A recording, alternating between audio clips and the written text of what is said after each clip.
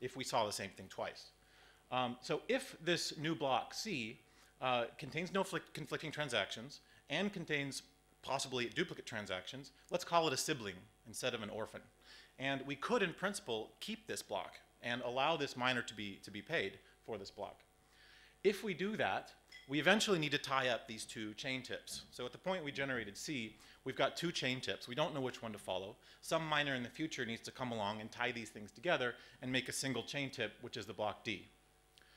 Um, which essentially is indicating those, there's no conflict. So the, the second, the last miner, D, is tying these things together and asserting there is no transaction conflict in the entire subset of all of these blocks.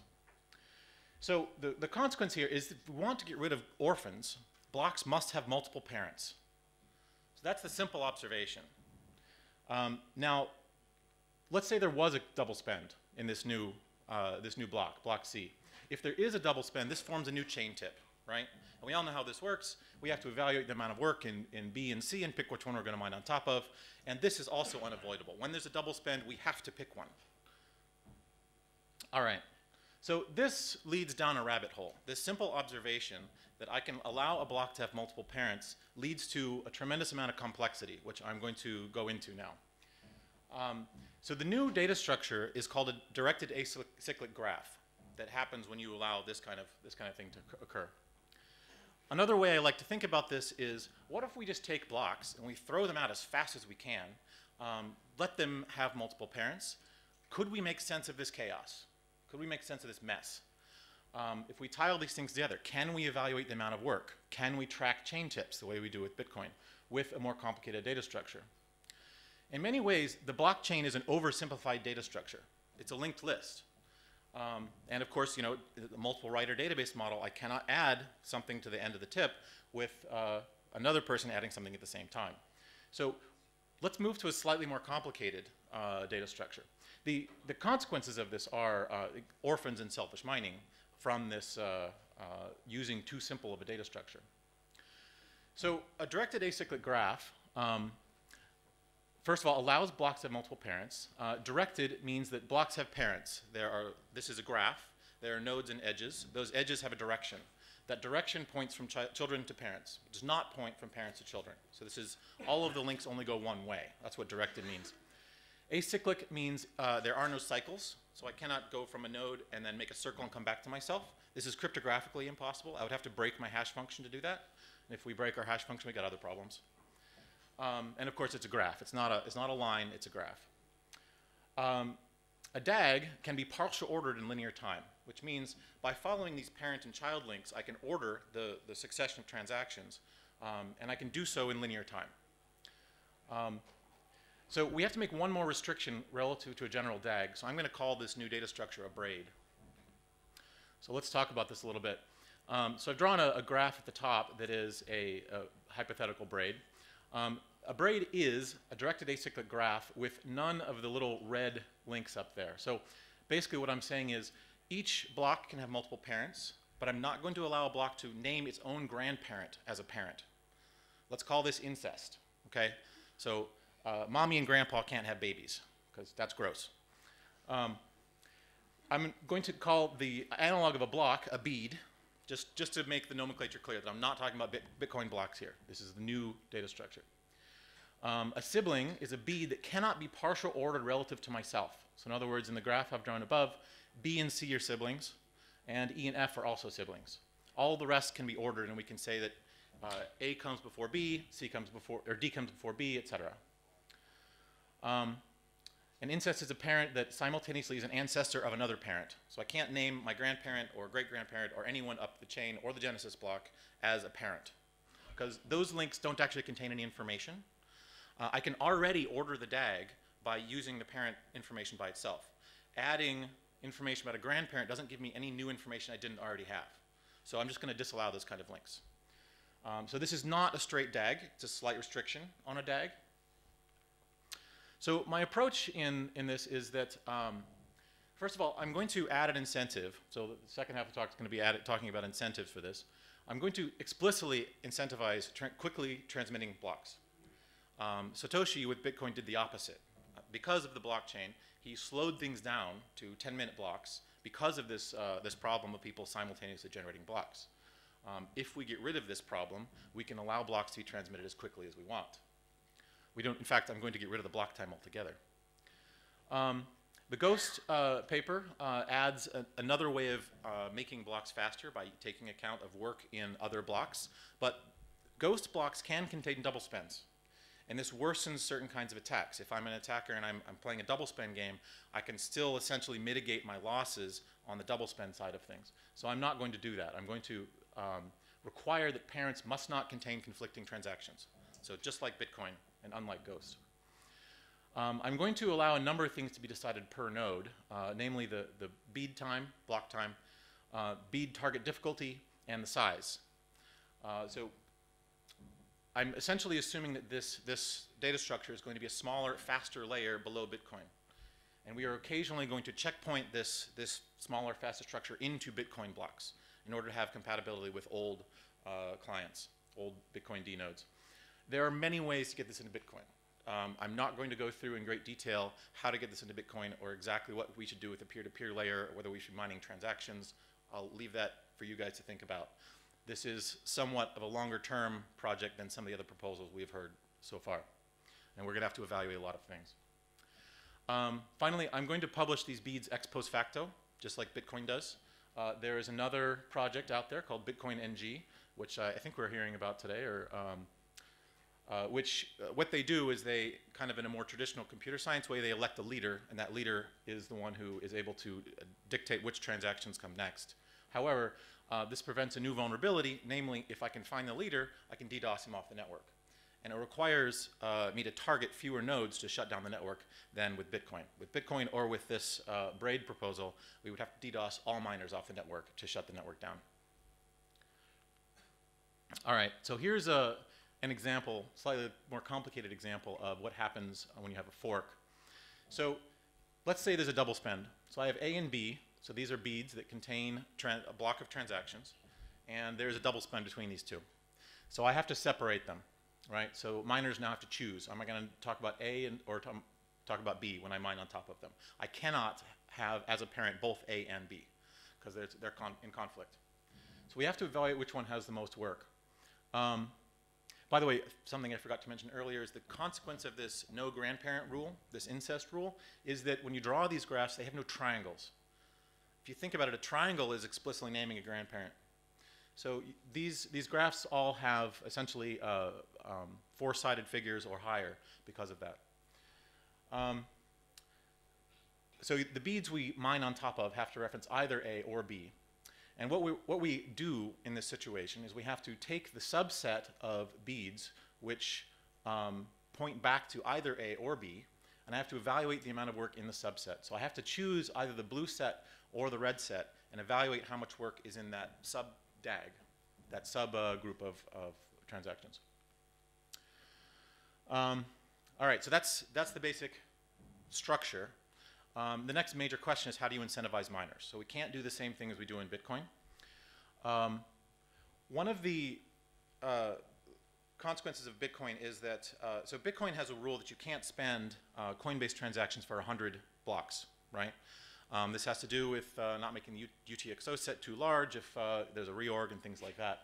Um, however, it's a fundamental fact that because of the size of the Earth and the people do generate these siblings, I can't decide who I should allocate coins to until I can see both sides, right, of the siblings, both of the siblings. So um, instead of not allowing people to spend their coins for 100 blocks and allowing miners to create the Coinbase, they can't create the Coinbase. They don't have the information. They can't see all the blocks. I'm going to require that we actually calculate the Coinbase 100 blocks later, rather than calculating it at first and not being able to spend it for 100 blocks. Um, the consensus of this system, the chain tip, is caused by the profit maximizing behavior of the miners. So creating the right incentive is what causes consensus to happen. It, that's what causes the whole thing to work. So we really need to be careful and really think hard about whether we have the right consensus model. If we don't, we're going to have something like a selfish mining attack. And because this is not a cryptocurrency yet, we have time to sit down and think about this and make sure we've got the right incentive model. I'm going to propose something here in a couple slides, but let's all do some analysis in the coming days or coming year um, and figure out whether we got the right thing, if this is a path people want to go down. Uh, I'm going to allow miners to individually choose target and block rate based on other considerations. We can measure the amount of work. That's not really a problem. Um, and if we do that, the only limiting factor on the network is bandwidth and CPU. So can I get those blocks out there? Can I evaluate the signatures? Are, this is a CPU-bound problem and a network bandwidth-bound problem. This is a nice problem to have compared to the artificial restrictions we have from orphans now. Um, so I'm going to define two quantities here, which we'll use in a miner incentive formula. One is siblings, okay? So the sibling, as I already brought up, is a analog to Bitcoin orphans. It's defined as a bead that cannot, come, cannot be ordered to come before or after my own bead using only the DAG's partial order. Okay? So these, the way I'm drawing my graphs, times along the horizontal axis. Uh, I can reorder these beads left and right, but I can't put them earlier than their parent. So if I can put uh, two beads on top of each other so that they could have occurred at the same time and I cannot tell, um, that defines a sibling. Okay? Uh, siblings are defined per braid tip. So you, you don't care about siblings that have double spends in them. They're somewhere else. Uh, siblings must not contain conflicting transactions. We have to have, uh, they're part of the same consensus block, and they have to not contain, they have to contain uh, a single uh, set of UTXOs. Um, siblings may contain duplicate transactions. The model we have now, we relay transactions via peer-to-peer. -peer. We may upgrade this with IBLT, where we're likely to have blocks that have almost identical transactions. Um, so we're going to explicitly allow that.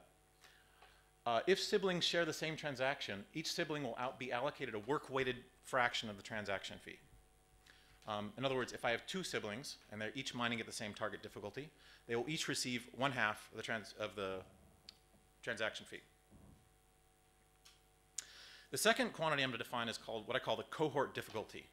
So for the non-English speakers, cohort uh, means a group of people about the same age. It's your classmates um, from school. So the cohort difficulty is the work of other miners during the time window in which I'm mining. I define it as the combined work of all of the beads between my youngest parent and my oldest child. So a, a miner with a large cohort difficulty relative to his own is playing games or following some perverse incentive model.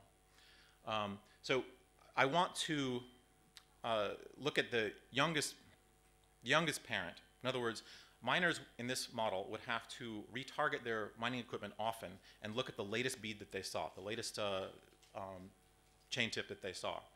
They, you know, if, if a miner sits for an hour and mines on the same thing, this does not create a fast network, right? We're, we're sitting and waiting for an hour for this. Um, and we want to look at the uh, oldest child because that says someone else came along and put more transactions on top of it. And we want that to happen quickly also. So the miner should publish his bead quickly in order to get other miners to mine on top of it quickly. Um, so you might imagine that a miner was trying to steal fees by becoming everyone's sibling. So we're going to explicitly disincentivize that by using this quantity. Or withholding blocks. In other words, the children arrive late because he's holding on the blocks and not transmitting them. Um, so incentivizing using this quantity, the cohort difficulty, will incentivize uh, fast block transmission. So here's a, here's a diagram of what this looks like. So this is a, a sub uh, braid. So on the left-hand side, we have A, um, and then a group of, of, uh, of beads here. So the, the siblings are the guys in blue. It's G, D, and E. And if you think about siblings are relative to a particular bead, okay? So I'm asking what are the siblings of B? Um, and if any of G or D or E contain the same transaction, B is going to have to split fees with them. Um, and if you look at this graph, time is along the horizontal axis, so you can imagine taking B and D and E and G and moving them horizontally, and I can place them in any order.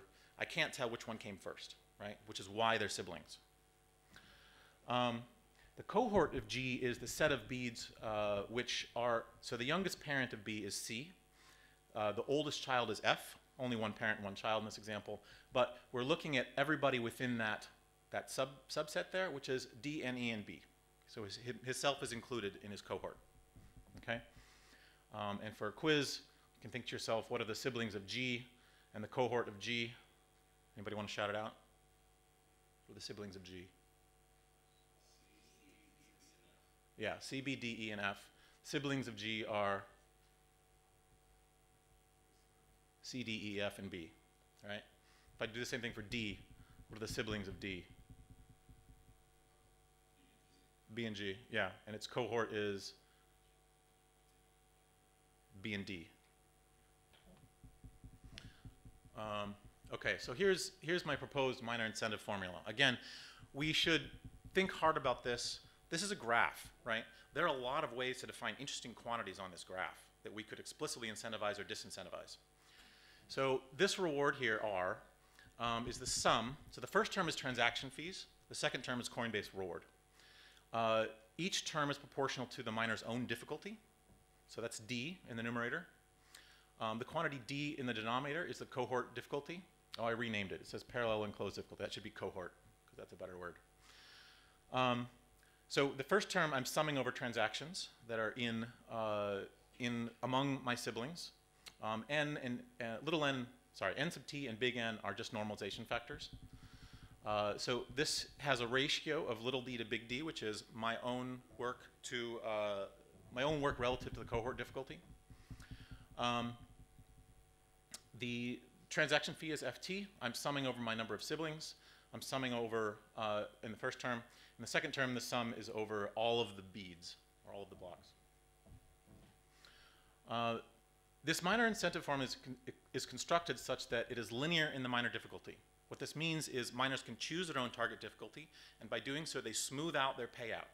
So rather than having 25 bitcoins and then wait a long time and 25 more bitcoins, I could mine at half the difficulty and get 12 and a half bitcoins on average twice as often. Um, that's what happens because I've made this explicitly proportional to his own difficulty. Um, so smaller d means a smoother distribution of income, which is probably uh, valuable to smaller miners. The difficulty-weighted split of fees is fair. You know, we're, we're, splitting it according to work. Bigger miners will get more money than smaller miners. Um, this causes us to incentivize and optimize the, peer-to-peer uh, topology quickly, to quickly propagate blocks. Um, again, we're, we're, explicitly incentivizing the uh, work between the youngest parent and the oldest child, so we want to transmit things quickly. The peer-to-peer -peer topology is essentially random in Bitcoin right now. Could be optimized quite a bit to make the network faster. Um, I'm going to speed up a little bit here. Uh, this also means smaller miners can mine without joining pools. In many ways, uh, I am pulling P2Pool into, into Bitcoin in some ways. The Coinbase for this kind of thing would look a lot like P2Pool. It would be a long list of outputs that come from collecting the things in the DAG and putting it into a Bitcoin block. Um, just about a time, we have to evaluate the, the best braid. Um, Bitcoin has a linear, you just add up the amount of work in each one. This is simplistic. Uh, we can do a lot better. This becomes a measurement problem. I have evidence that you have a hash power based upon your target difficulty and your publication, your proof of work. I can use fancier uh, technology like um, likelihood functions to evaluate whether uh, which, which chain has more work or which braid has more work and which one I will mine on top of. Um, confirmation times, uh, let's just say this, we have a lot more data. I'd like to see a whole class of risk evaluation methods added for different users and different use cases by looking at the amount of work and we've, we've got a lot more data because there's a lot more evidence coming in via proof of work. All right, so let me finish up here. Um, getting rid of orphans forces us into the braid structure. Uh, transaction volume, when I do this, is limited only by bandwidth and CPU. Um, confirmation times can be much faster. We can throw out blocks as fast as we want, limited only by the propagation time to reach the entire network, which is a fundamental limit as the size of the Earth. We're not going to change that anytime soon. The algorithms here are more complex, but they all seem to be order n. In other words, we're always looking at a, a, a subgraph. We're always including all of that. We don't have to solve the traveling salesman problem, which is an NP-complete problem. If that, if that shows up in these algorithms, that's bad. Um, miner income can become much smoother and more predictable. Uh, in many ways, uh, there are many ways to put this into Bitcoin. So there's lots of simulation and testing necessary, and I'm sure we'll discuss it in the future. This also means smaller miners don't have to use pools which is mining decentralization, something I think we all want. All right, thank you. Thanks, Bob. Do we have any questions for Bob? Okay, we have a few. I'm going to start with Jorge. Uh, so you said uh, that miners can choose their their own difficulty, which I find very interesting. But uh, uh so what about if they, if, is there a limit on, on not doing empty blocks or things like that? Because it, it comes to mind that they, they could produce infinite difficulty one blocks and mess with the network? Yes, like so again, how to get this into Bitcoin is another question. So what you're essentially asking is, should there be a floor, uh, a minimum difficulty, maybe? Or, or a minimum number of, of transactions? Uh, I don't know. It, I, I'm it seems many empty, low difficulty blocks could be a problem. Possibly. Good question. I mean, this is something we have to engineer into it. I I have not, I have not done that explicitly. Question over here. Okay, uh, as I understand, uh, a fork will still happen if there is double spending. Yes. So, would that all existing problems still there? I mean, when there's a fork, uh, people will selfish mine and So selfish mining happens because uh, of orphans. So there's no orphans here. Selfish mining doesn't work. It doesn't make any sense to withhold my block. But you will, if there is a fork, then you will, will eventually have an orphan fork, right? Well, so you have a fork, right? Yeah. And if I want to overtake this other fork, I have to have 51% of the hash power. Selfish mining gets me down to 25%. That doesn't happen here. This brings us back up to 51%. Mm, But but in your system, you just instead of uh, have an orphan chain, then now you have a bunch of orphan beads i- with your Yeah, you have a you have a branch, and there'll Yeah. be many beads on the both branches, and I So- need to evaluate which one has more work. so what's the difference? Uh, uh, but that's my The, question. dif- actually. the difference is there's no orphans. So uh, the, the fees are split evenly. Um, the each miner has to choose which one they're going to mine on top of, and the the the- Satoshi's original analysis that led to 51% is correct, which in Bitcoin it's not correct due to selfish mining. We have a question in the back. So, uh, am I right to say that the best way for me to avoid conflict now is to mine um, empty block Why? because um, there won't be any conflict transaction with other blocks? So if you want to get some of the transaction fees, Well, the transaction fee will get split if uh, I include the same transaction any, yeah, anyway. but it, it'll, it'll be split. But if you don't include it, you get zero. and if I include some conflict transaction, then uh, my block wouldn't, uh, wouldn't get um, included into the blockchain. Well, that, that's always true. I mean, the, the reason um, consensus works in Bitcoin is because miners are forced to choose which branch they're going to take. So if you're throwing out blocks a lot faster, so you throw out one block that has a conflicting transaction, you see that everybody else is mining on another chain. And this happens, you know, seconds later, and you switch. So you don't lose 25 Bitcoins.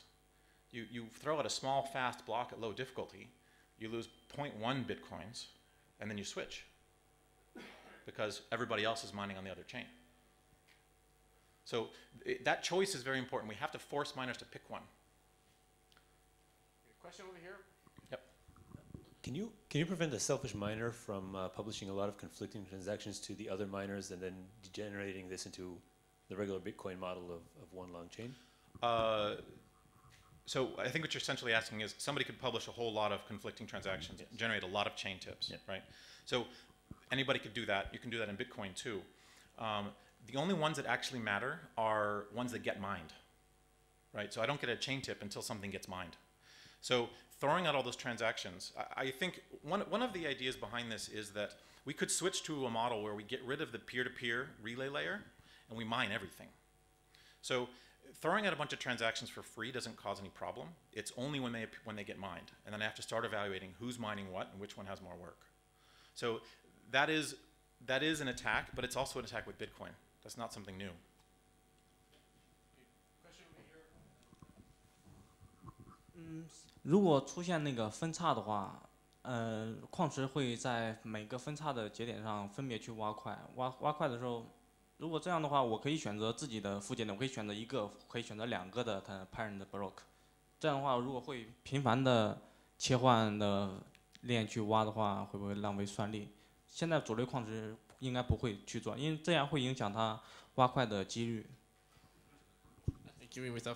Okay, so he said the question was if there's a um, split, a fork, Mhm. or orphan, then uh, y- 你是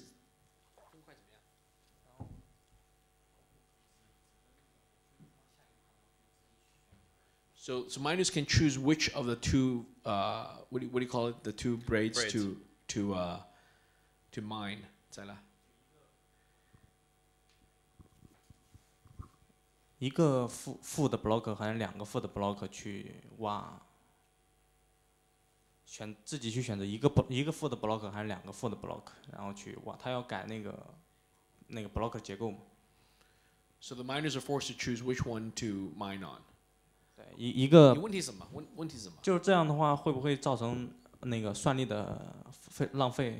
will that cause a waste of hashing power? No. When so. I, I, thought about throwing some plots in here from the Bitcoin NG paper. They defined a number of interesting quantities, including uh, utilization.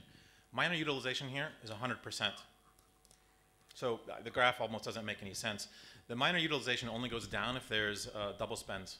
and, but then miners have to choose. But that's exactly what we want miners to be doing. That's why miners exist. That's their job, is to pick one and create the chain of consensus. 就不会浪费算力。Okay, que- uh, no more questions. Okay. All right, thank you, thank you, Bob. Our next speaker is Jonathan, Jonathan, Jonathan Sompolinsky, and he will be speaking about breaking the chains of blockchain protocols. Hey, thanks for having me. Um, this is a fresh work um, from the recent days, weeks. Um, this is a joint work with my advisor, Aviv Zohar, from the Hebrew University of Jerusalem, Israel, and my colleague, Yoav Durenberg. Um, okay, breaking free from the chains of blockchain protocols. So what's that about? So the motivation for this work is our daydream for Bitcoin.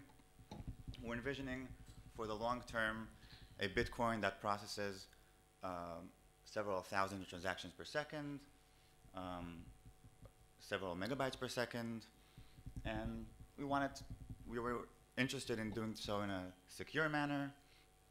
And this is so, this is the long-term vision for our long-term vision for Bitcoin. And if you can think of 2,000 or 10,000 transactions per second, that's what Visa processes nowadays. So we would we'd like to get there. So in this work, we define a new family of blockchain protocols, which makes use of, of ordinary Bitcoin uh, blocks. Okay, so we don't use uh, microblocks or synchro- uh, different synchronization. We, we stick to the bit, uh, ordinary Bitcoin model. We we miner, um, mine, uh, miners mine blocks. And this is an in-chain solution to the scalability security trade-off. So it's orthogonal to any off-chain solutions, Lightning Network, etc. They are both uh, compatible. And we want to um, uh, achieve a scalable protocol that will, um, that will be able to process uh, several megabytes per second. So that's our goal. Okay, so as Bob mentioned, this is, this is perhaps the basic picture for scalability security trade-off in Bitcoin. Once you increase the throughput of Bitcoin, then many forks occur, occur, occur in the network, and you have this uh, longest chain, which is now only about, uh, could, could be in this picture, a half of the mining power. And, and this, fork, this fork network has multiple consequences. So now I'll go through the consequences of, of this um, of this uh, forking of the network. And there are several attacks uh, in which uh, there are several ways in which the attacker can use this forking of the network to his own benefit. Okay, so the first attack is the classical, classic uh, double spending attack. And here the miner um, waits for the user to confirm the transaction, and after the confirmation, he publishes his secret uh, ch- chain of blocks. And the crucial point here is that the miner waits for the confirmation, and after the confirmation, he publishes his blocks in an attempt to reverse the payment. Okay, so this is after confirmation. Okay, so we have the blue, the blue, the blue transaction is the honest transaction. It's contained in the block B, and the conflicting transaction is in the is contained in the in the red uh, secret chain. And once the user accepted block B, the, the attacker publishes his secret chain of blocks. So this is the famous double spending attack. Another attack on, uh, on this uh, data structure is the censorship attack. And in censorship attack, the aim of the attacker is, is the opposite. Instead of reversing payments after confirmation, the attacker aims to prevent confirmations by publishing his blocks very fast. So the aim of the attacker here is to gain control over the main chain.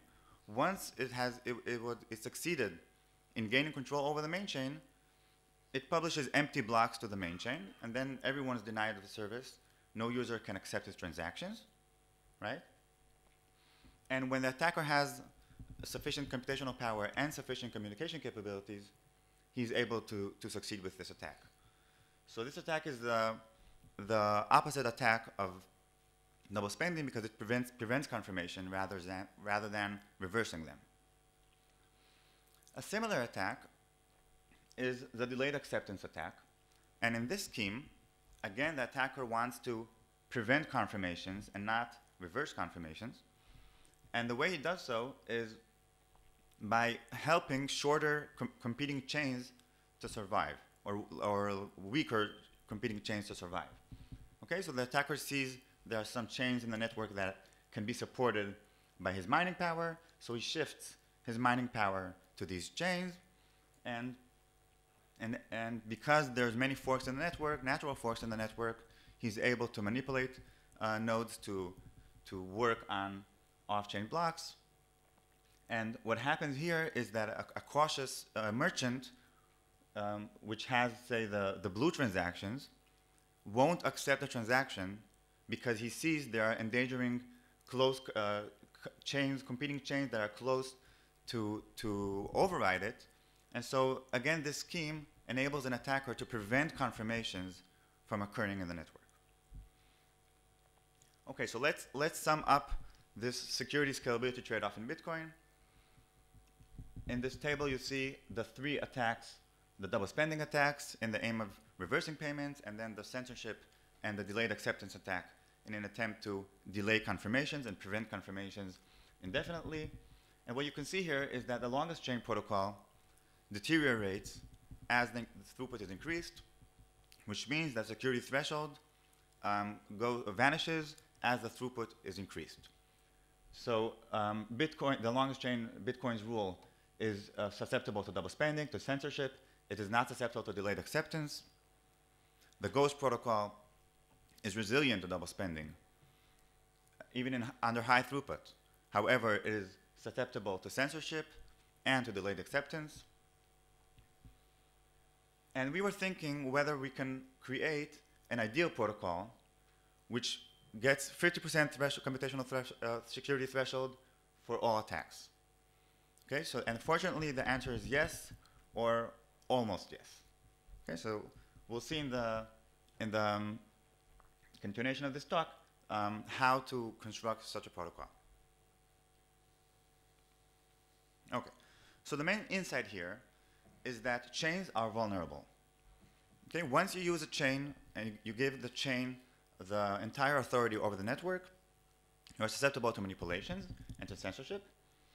And to avoid this, you want to utilize all the mining power and all the contents of all blocks, and you want all the blocks to participate in the process of, of transactions confirmations.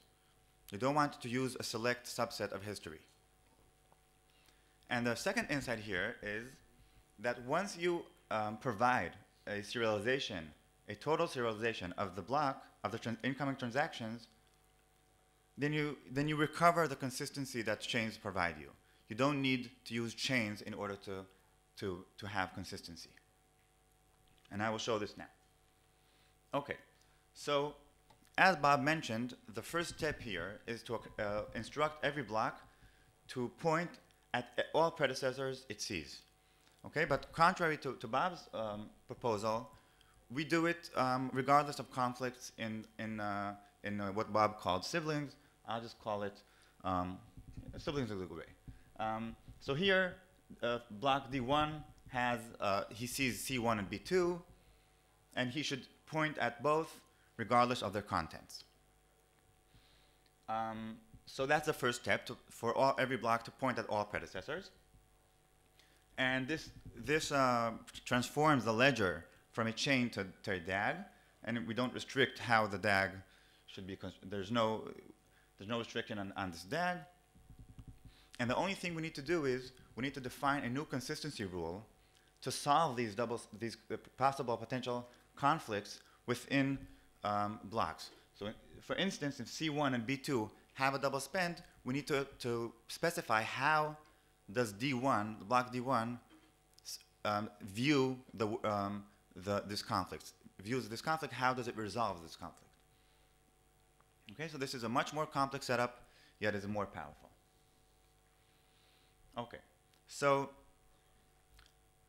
the, the prime observation of this work is that you only need to provide a linear ordering on the blocks of the DAG in order to, to, to achieve consistency. Okay? You don't need to have a chain. It's enough to, to, to agree, all nodes, for all nodes to agree on how to transform a block DAG into a, an, into a chain or to a linearization of the block DAG. For instance, assume there's the, the block DAG on the, on the bottom left, and it has all these transactions, then if the order on the right, on the bottom right, is agreed upon by all nodes, then the algorithm to, to uh, interpret the worldview of this DAG is, is simple, iterate over the blocks in this agreed order, and confirm every transaction that is consistent with those that you've that you confirmed you have confirmed thus far. For instance, you, you start with the, the block A here, the yellow transaction is accepted, then you iterate to the next block in order, B2. If the blue transaction is cons- consistent with the yellow transaction, you confirm it, etc., etc. You go to B1. If the green transaction is, is consistent with the yellow and the blue one, you confirm it, and so on and so forth. Okay, so once you provided a linear ordering that is agreeable on all nodes, then you, you, you have achieved consistency. And of course, you can't just simply provide a, a, a linear ordering that everyone agrees on. You have to have some good properties of this ordering. For instance, you want it to be resilient to revisions, right? You want if, if uh, one block, if my block precedes your block, now I want it, I, want, I need a guarantee that with high probability, this will remain so. And likewise, if, I, if, if there's a secret chain of blocks that it's not published, I want this block, these, this secret, this secret chain of blocks to, to be later in the order in order to prevent it from being injected in line and, and um, throwing out valid transactions, right? So these are good properties we want from, a, from an ordering, and I must say it's not, it's not, a, it's not an easy, it, it's not easy task. So we tried, we played with many protocols, many naive protocols, and we were able to manipulate all of them and to, to attack them. So that's, that's sort of a motivation why, why the following protocol, which I will present, is a bit compli- complicated. Okay, so here's a specifica- specification of our new protocol. There's still a heated debate about the name, so I'll just name it our new protocol. So here's the specification. We, we have a given DAG, and we want to know how to order it. So the first step here is to decide between each pair of blocks what should be the pairwise relation between them. Sorry, so assume we have E and F, a pair of blocks. So every block in the entire DAG votes whether E should precede F or vice versa. And the way it votes is depends on, on its location in the DAG.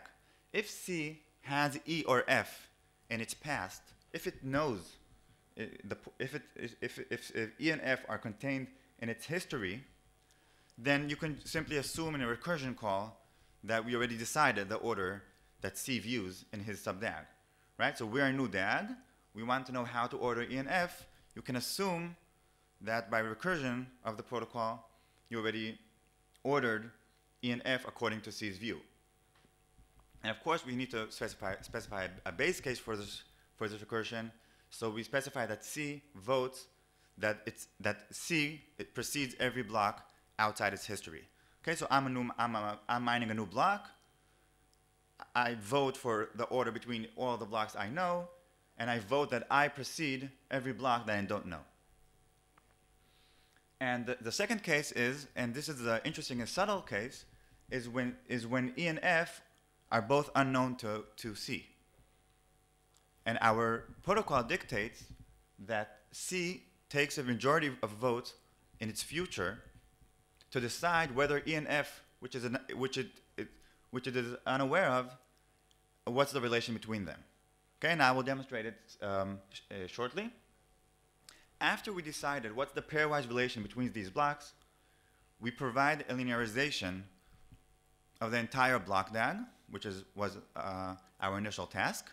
We do, we do so using the Schulze method, which is a bit uh, complex, and I won't, I, I'm afraid I won't have time to go over here.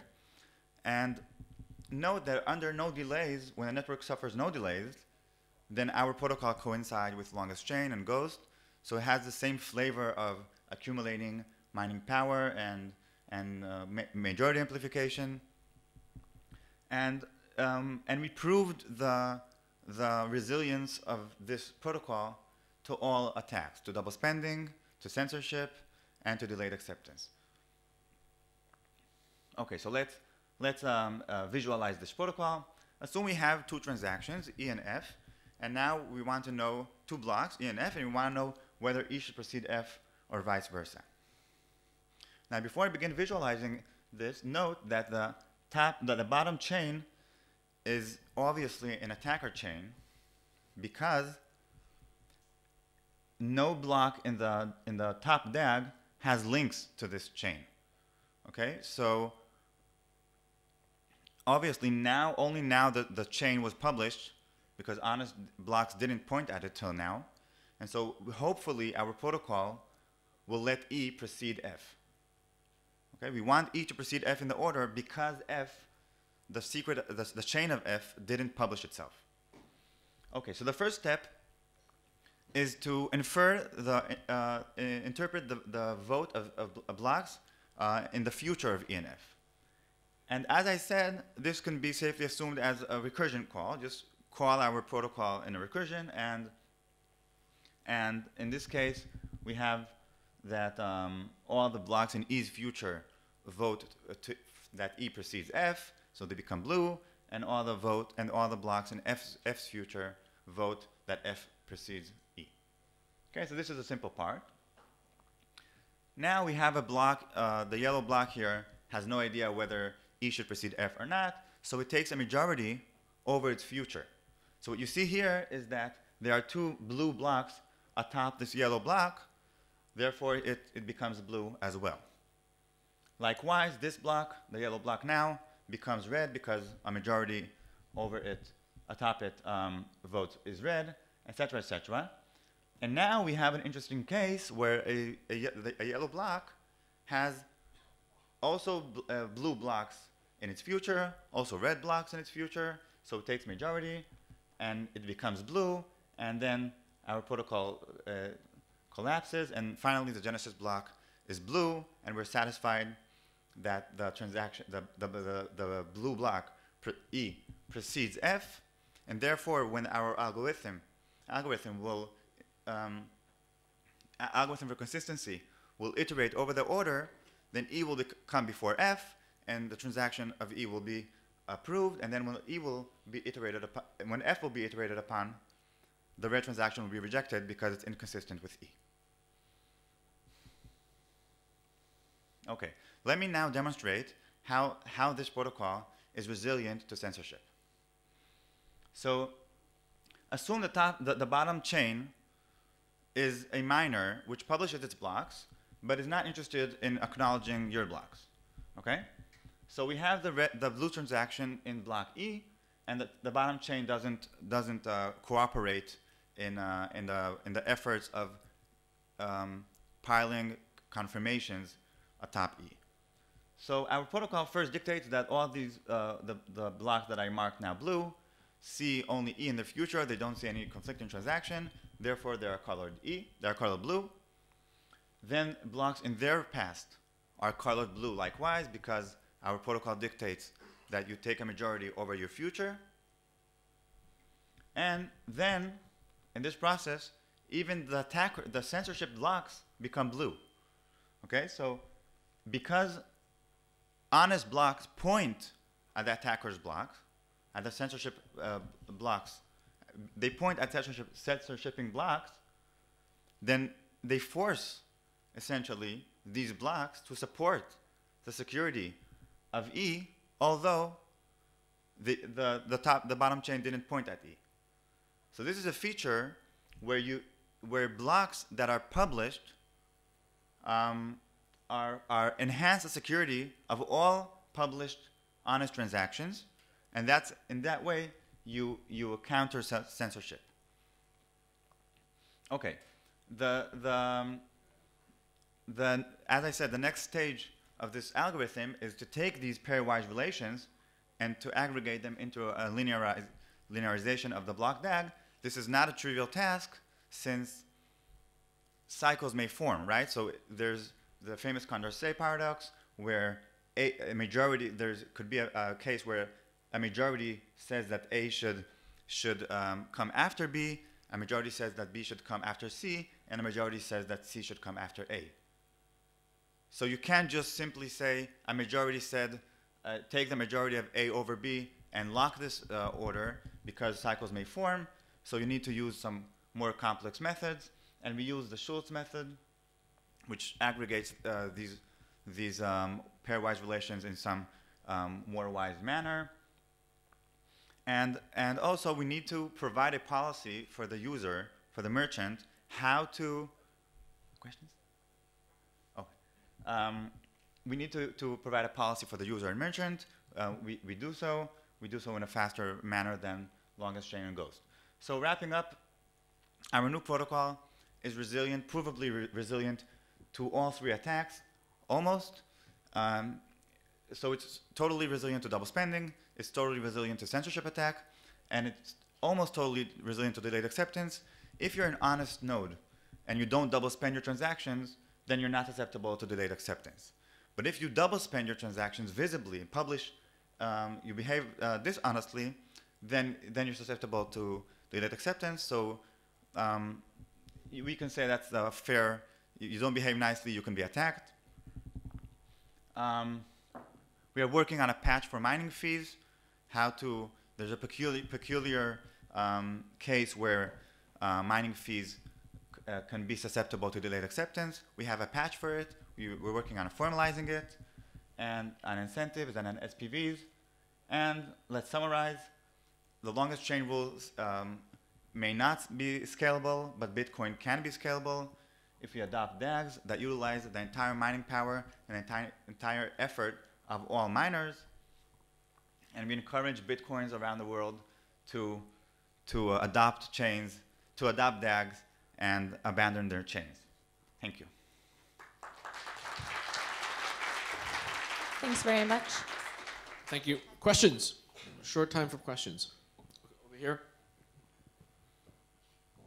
Can you describe what happens when two nodes receive uh, conflicting transactions at different times and, and how yeah. these get linear? So let's say one node publishes its block with TX and the other one with TX prime.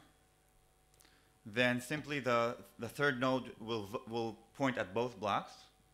And if, if, they're, if, this, if they're really in a tie, then it, it needs to break ties like in Bitcoin. You need to break ties between competing chains. No, it, it break ties. It says that TX prime is the the block of TX uh, precedes TX prime. Then TX is approved. TX prime is rejected.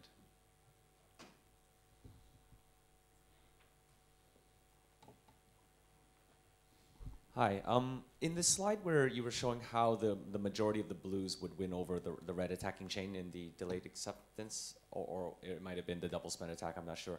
But did that slide um, sort of imply that you need the others kind of shorter orphaned chains in the blue side in order to have the majority over the red? If it was just one blue chain shorter than competing against one red chain, then the red would have the majority, would it not? Yeah, if you have a majority of the mining power that is censoring uh, a shorter chain, then it's 51% attack. So we're only resilient to a 50% attack. We can't be resilient to more than that. Right? So in your case, you have a longer chain that's consistent. That's that's supported by 51%.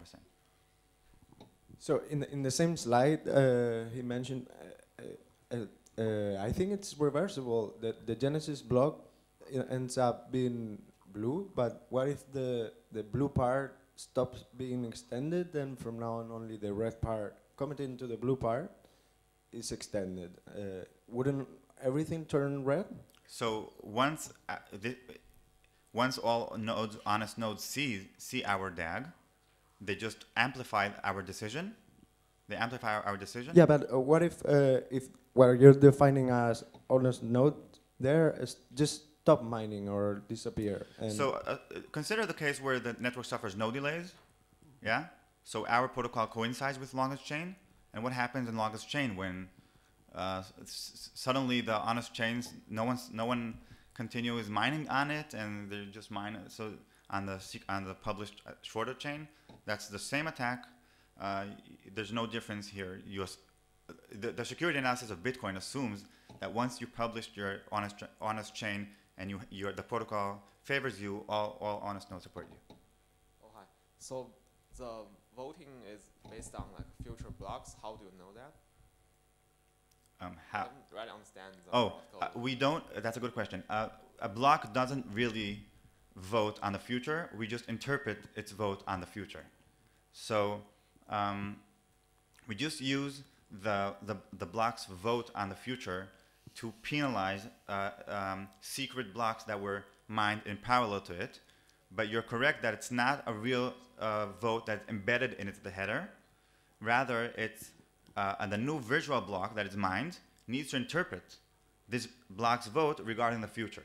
So it's, it's, it's just an algorithm. We don't require really a block, we don't really require a block to vote on the future. It's just an, an algorithmic interpretation. Okay, thank you, Jonathan. Our next speaker is Loi Luu. And we're speaking about SCP, a computationally scalable Byzantine consensus protocol.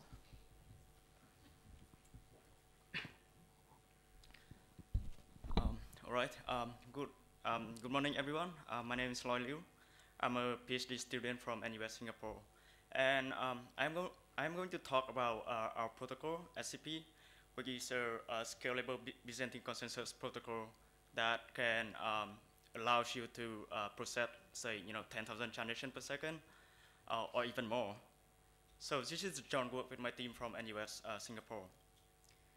Um, so I guess uh, we are all here because Bitcoin doesn't scale.